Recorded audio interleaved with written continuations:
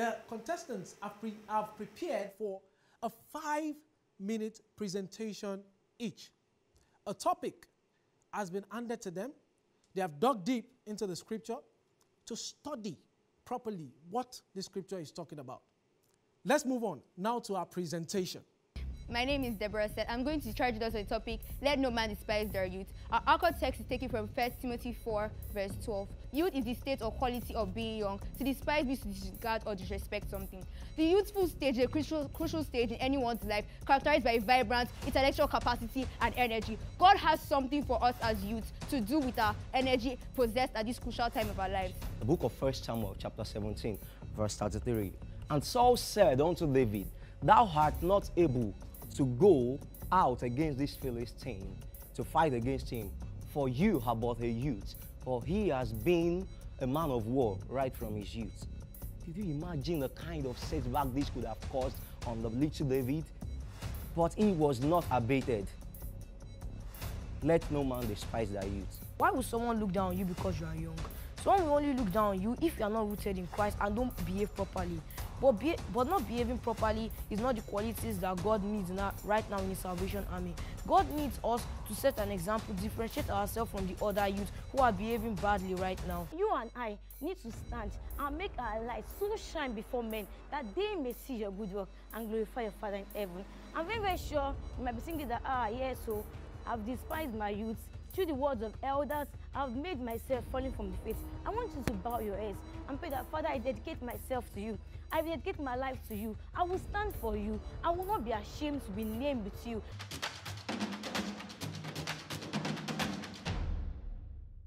What a wonderful presentation there from Tolulope. One thing that is very, very important there, she said, you can influence the people around you and you don't even need a pulpit to do that. Wow.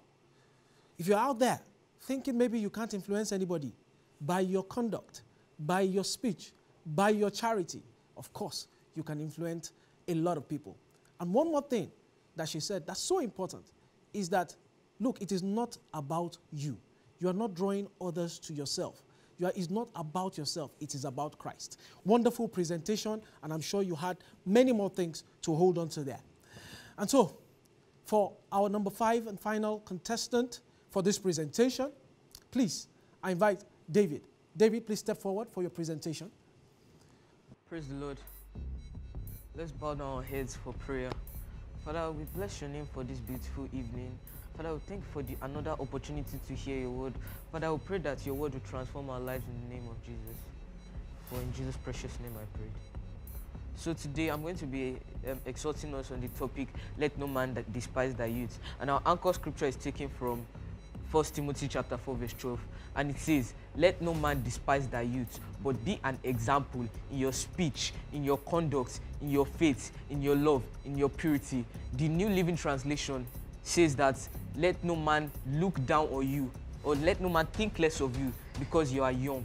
But be an example in the way you talk in the way you behave in the, the way you have faith in your love and your purity First of all, what is um, that first part trying to tell us? It says, let no man despise that you. Don't let anybody look down on you because you are young.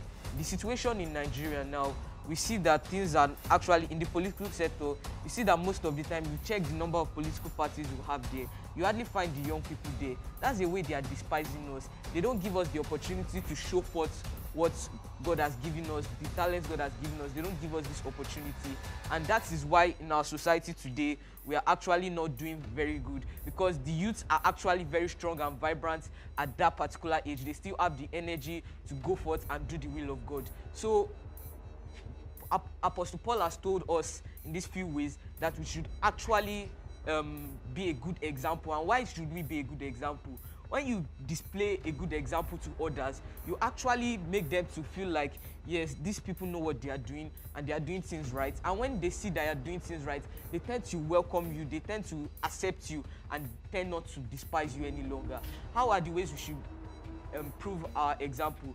First of all in the way we talk the bible says that let no corrupt word come out of your mouth. What are we trying to say what you what comes out of your mouth should not be words that make uh, that mass somebody. The bible says the um, life and death is the power of the tongue. That is trying to tell us that your words are powerful. Your words are not just ordinary um, ordinary statements. They carry power. They carry life and when you speak a bad word to a person it affects the person's soul and it affects the person inner man. And this is actually not something that should be done by a christian. A christian is supposed to encourage others to do the right thing to um, make them to grow in spirit to grow uh, in in the word of god. The next way is the way we behave. How do you act in public? How do you act in private? You are supposed to know that the things you do in secret. Also is also your behavior what you do in secret is what you show outside. Every open manifestation is as a result of secret investment. That is trying to tell you that even if you try to form a behavior outside it doesn't just work that way. It has to start from you.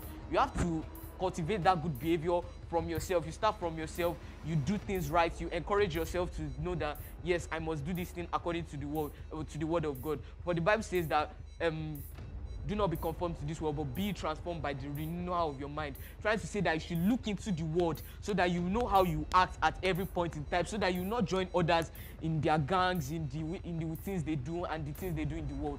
The next is in faith. You see faith is the substance of things hoped for the evidence of things not seen. But without faith it's impossible to please god. But he that cometh to him must believe that he exists and that is a rewarder of those who diligently seek him. That's to try to tell you that without faith you cannot please god. And it starts with pleasing god. It's not about pleasing man with your speech. Even if you want to please it doesn't start with pleasing man. You have to please god first. And and a way of pleasing god is through your faith. You see daniel when they said that he should they should he should not pray when they made the law that he should not pray he still had that faith that yes i'll pray to my god and he will answer me. He even opened the windows and he knelt down and prayed normally. That's to tell you that that guy had faith in god. He didn't care what the circumstances around him were. He didn't say that oh these people are going to do me anyhow. He just knew that god was going to work a way out for him. In our love we should know that we are supposed to love god with all our hearts with all our might with all our soul with all our understanding. And actually loving god doesn't start with us. It doesn't start with just saying you love god. It starts with the people around you. Those who you see every day your neighbors. You are supposed to show them the kind of love jesus showed you. You are supposed to actually encourage them and actually be kind to one another. And i pray the lord will help us in the name of jesus. Now for purity in our world today we see a lot of vices. We see a lot of sexual sin. We see a lot of immorality. And one thing that comes to our mind is that why are things going this way? We see social media and we see all those platforms. Those platforms are actually making things bad. So we endeavor to actually do things right and make a way for ourselves in the name of jesus. I pray god will help us in jesus name. Amen. Thank you. Thank you very much, David, for that wonderful presentation. Some of the things he said that were so key. He said, even though we have political parties, so many of them, but we have very young people there. Why? Because the youth are being despised. But you see, that's one thing we are not doing at the Bethel Dwellers.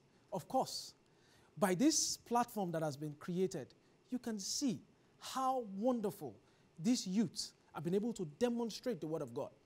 I'm sure if this were a Sunday, in fact, you will be going on with something that will take you for the rest of the week. Indeed, it has been a wonderful segment of the presentation. I would like to go to my judges now to ask them what they think about some of our presenters. Judges, let me start from our mommy, Pastor Mrs. Orelaja. Please, let us hear from you. Yeah. Uh, the first contestant uh, did he marshaled the, the those uh, points and give us examples like others too. Um, number seven too was uh, she was able to at least when you are coming to preach, I believe you should come with your Bible. So which she has done different from others. Uh, number two, number six, number eight too, they have really dealt with every aspect of um, that topic and that verse. I pray the Lord Almighty will take these ones to greater heights. Amen. Amen. Amen. Thank you. Thank you very much, mommy. Of course, let's hear from uh, Pastor Taiwo Kasumu. Praise the Lord. Hallelujah.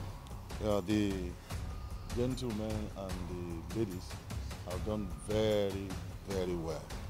I will begin by saying that uh, uh, for this generation, uh, we are blessed to have this one.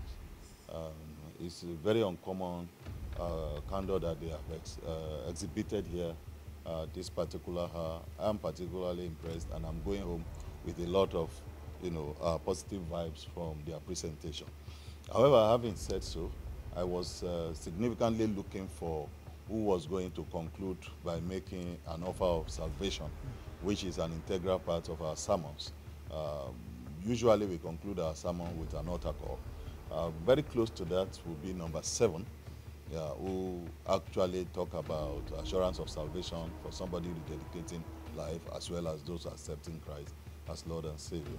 Uh, the first speaker did justice to uh, the question also. Uh, a very confident preacher is number two. Uh, he, he, talked to the scriptures uh, with so much uh, dexterity. I, I appreciate that value. the youngest of them, I, I, was scared. I was actually interceding. little did I know that you know, uh, yes, he's, he's, he's, a man with fire in his bone. I, I'm impressed. The same go for David also. They've done very well today, and uh, they are a good example of uh, uh, youth in the house of God. And uh, with these ones, I think we have hope for the future. Thank you very much. Thank you very much, sir, Pastor Taiwo Kasumu, for that uh, feedback. Reverend Asine, please let's hear from you. When I was coming in, I had this uh, impression that I was going to see something better than last year because this one should have learned one or two things from the previous contestants. I said, yes, I, my expectation was met. They all did very well. In the delivery, every one of them marshaled out their points as far as that a text was concerned.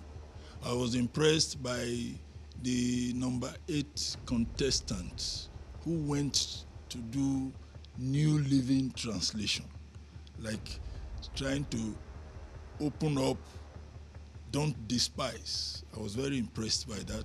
And then uh, Tolu also came up with uh, uh, that aspect of like concluding in such a way that altar call.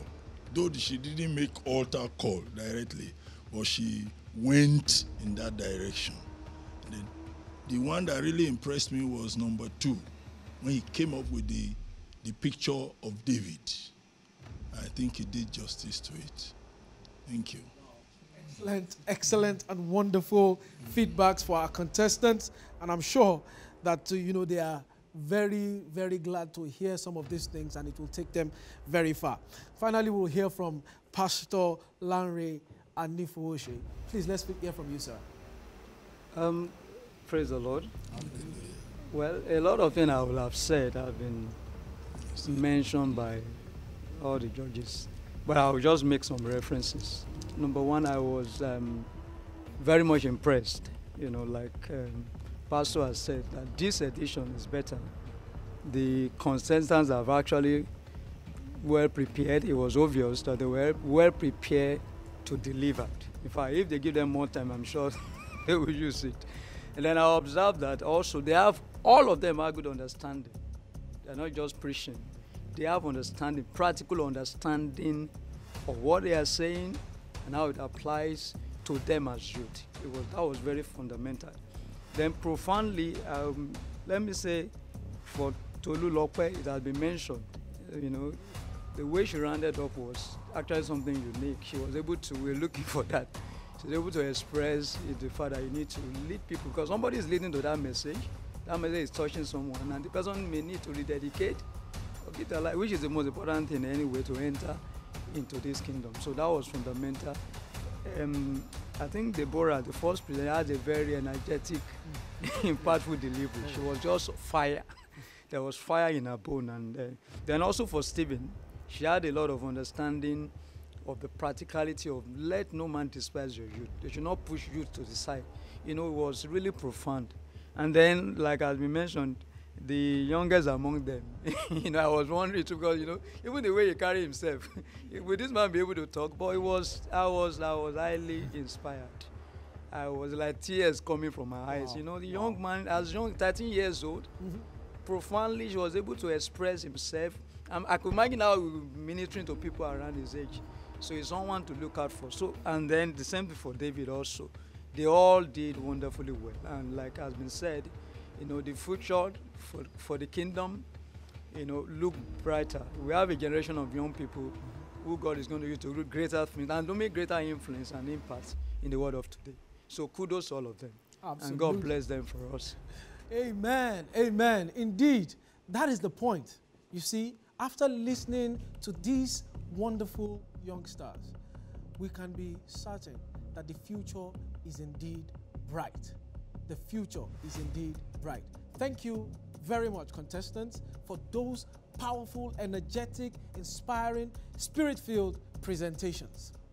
Now, however, our judges have to do their job of examining these contestants. They have put down scores based on the criteria that has been set.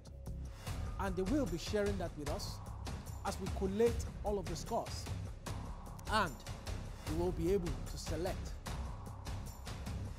the winner from this edition of Understanding the Scriptures, UTS. After this break, we will be finding out who comes top of the pack. Thank you.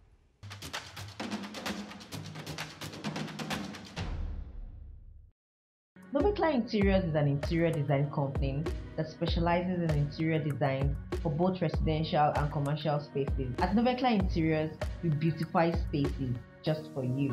Hi, my name is Oluwaseyi Obrindi. I'm the creative director of Novacla Interiors.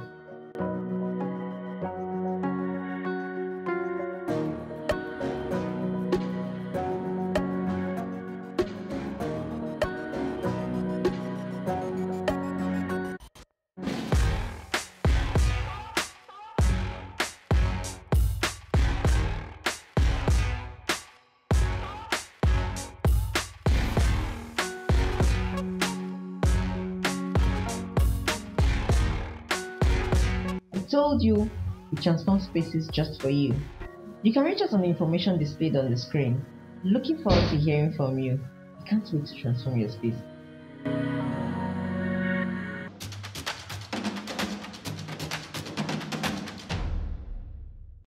Welcome back to UTS, Understanding the Scriptures. Wow, right now we are at the big announcement. Who takes home the prize of 500,000 naira? Who's going to come second? And who will be third? Well, we all know that all of these contestants have done very well.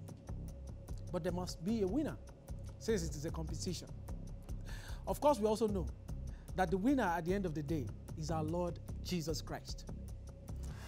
But then, of course, as it is, we must announce the winner here. First of all, I'd like to give a shout out to our wardrobe manager, Fresh Boutique. If you like what I'm wearing, please pay them a visit at number 19 Channels Road, Opik, Lagos, Nigeria. And I'm sure you'll be getting full value for whatever you are paying. Now, it's time to announce our top three. But first, we'll be announcing the fourth runner up, and of course, we'll be announcing the third runner up. Contestants, are you ready? Are you ready? All right. If I call your name, please step forward.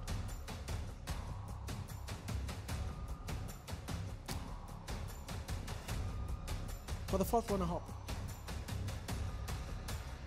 David, please step forward. Step forward. Please come forward. Please, contestants, give him a round of applause. David, you did excellently well. Please, you did excellently well. It was a great performance from you, from you, and we are really appreciative of you coming here today. Thank you very much. The Lord bless you richly indeed. God bless you. You may step down from the stage.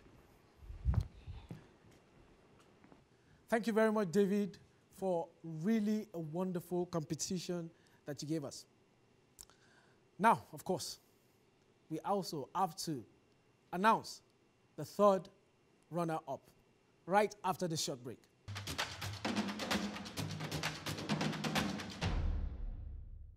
Welcome back. We just uh, announced our fourth runner up, David. Now it's time to announce the third runner up. Contestants, are you ready? When you hear a name, please step forward. Stephen, please step forward.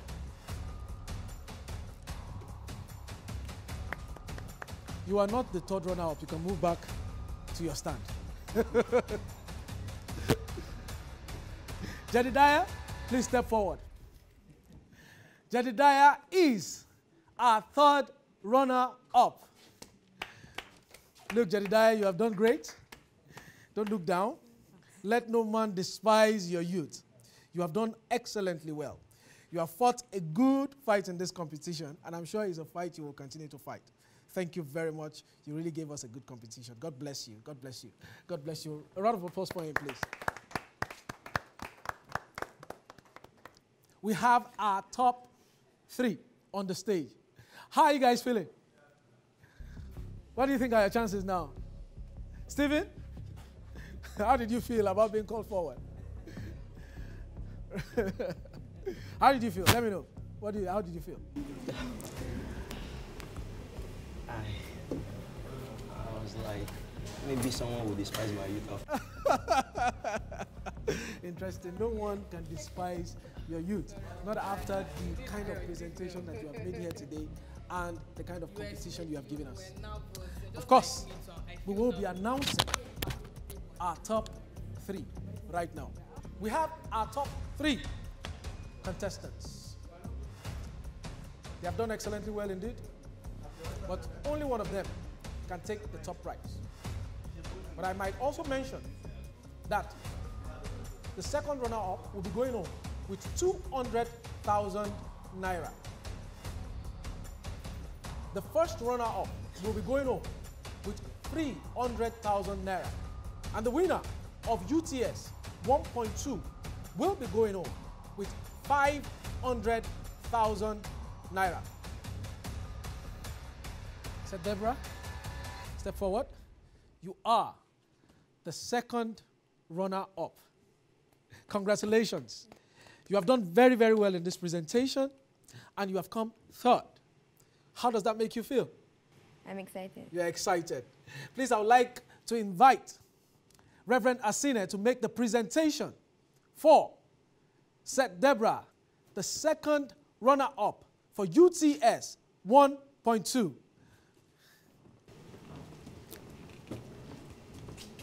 Said, congratulations on behalf of Bethel dwellers.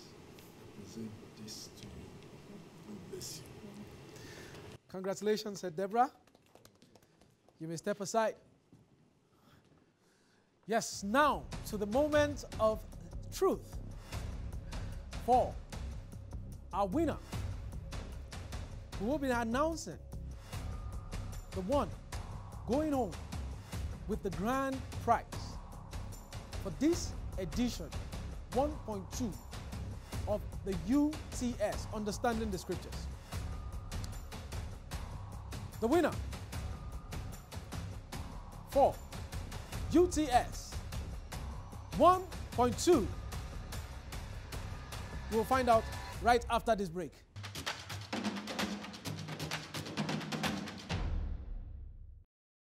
Bethel Dwellers present UTS 2.1 Understanding the Scripture, a Bible quiz contest project open to all Christians within the ages of 12 to 30 years. Over 500 participants, 10 finalists, 3 winners, 1 goal. To bring us back to the Scripture, for the winners, first position gets 500,000 naira, second position gets 300,000 naira, and third position gets 200,000 naira. The 10 finalists get 10,000 naira each with other consolation prizes. New application kicks off by 1st December 2022 via our website. Note, first, second, and third stages will be conducted online, while the grand finale will be conducted physically. Please join us every Thursday between 8.30 to 9 a.m. on all Dove TV channels to watch all UTS episodes. Dove TV at channel 349 on DSTV, channel 83 on Go TV, and channel 464 on Star Times. For more information on how to apply, call 0912 3765652 or visit www.betheldwellers.org. Click on UTS quiz, click on register. Entry fee is 2000 naira only. UTS powered by the Bethel Dwellers.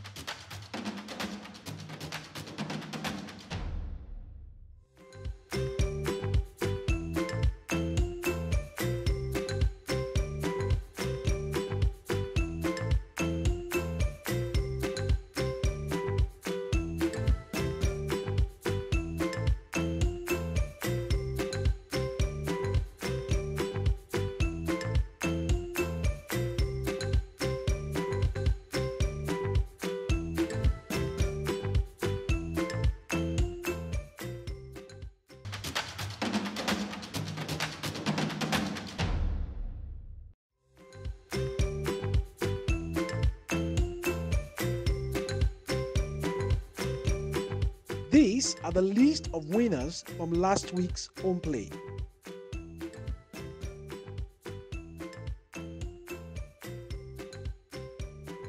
To all our friends at home, you also have a chance to be a part of the UTS and show us how much you understand the scriptures.